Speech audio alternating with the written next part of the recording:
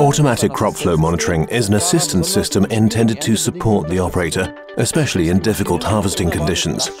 It's designed to protect the machine from unexpected load peaks on the drives and so prevent blockages.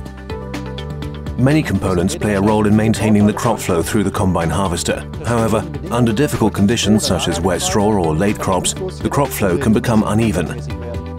This can subject individual components to load peaks, in order to identify load peaks at an early stage, the respective speeds of the APS threshing system, the two rotors and the engine are monitored continuously.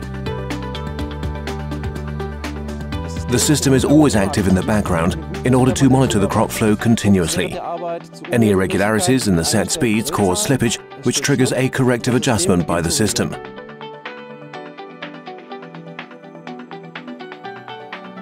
If the preset speed difference is exceeded, the machine automatically switches off the front attachment drive as well as the feeder housing.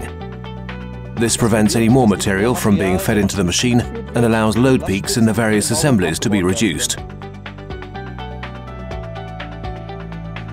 At the same time, the grain tank discharging system is switched off and the speed setting of Cruise Pilot, if active, is reduced to 1.5 kilometers an hour.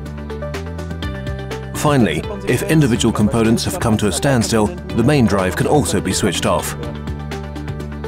The automatic crop flow monitoring system provides the operator with a safety margin when threshing under difficult conditions. It also encourages the operator to work closer to the performance limits of the machine. Machine idle time and downtime can be reduced significantly in this way, thereby enabling better harvest results.